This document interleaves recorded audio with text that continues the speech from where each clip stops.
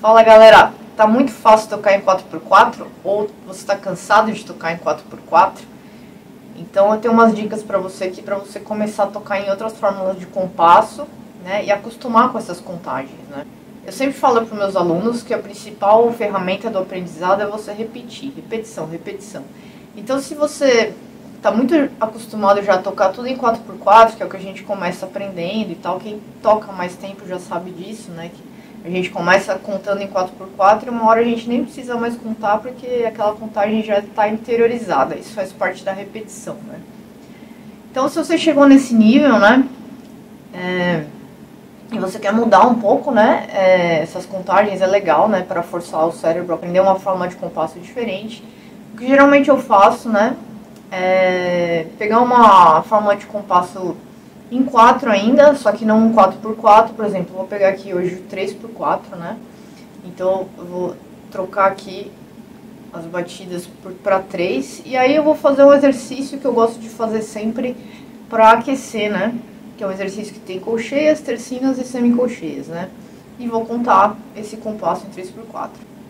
Então o que, que vai acontecer, né? Como o compasso é ímpar, tem três tempos, né? A gente vai inverter a mão, né? Porque a gente está usando a tercina ali. Então vai ser direita, esquerda, direita, esquerda, direita, esquerda, direita, esquerda, direita. E aí depois a gente vai entrar com a esquerda na semicoxinha. Então nesse momento vai inverter a mão e depois no outro compasso desinverte. Você volta para a mão direita liderando. Então essa é uma dificuldade que vai acrescentar também além da contagem em 3. Então vamos lá.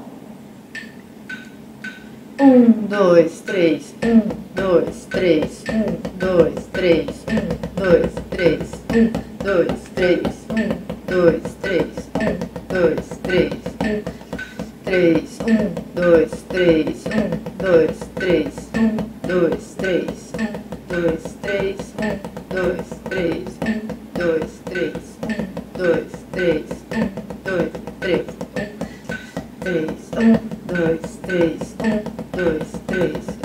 dois, três, um, dois, três, um, dois, três, um, dois, três, um, dois, três, um, três, um, dois, três, um, dois, três, um, dois, três, um, dois, três, um, dois, três, um, dois, três.